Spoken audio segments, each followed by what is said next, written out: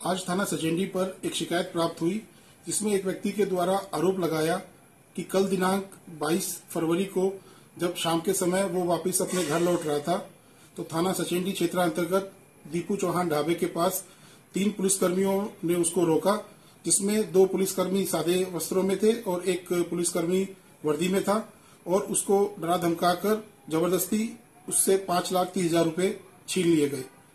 इस सूचना पर सचंडी थाना प्रभारी के द्वारा जब जाँच की गई तो उसमें सत्यता पाई गई।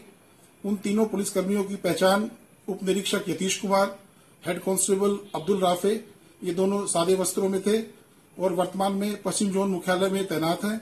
उसके अतिरिक्त उप निरीक्षक रोहित सिंह, जो कि थाना सचेंडी पर तैनात है, इन तीनों पुलिसकर्मियों को तत्काल हिरासत में लिया गया।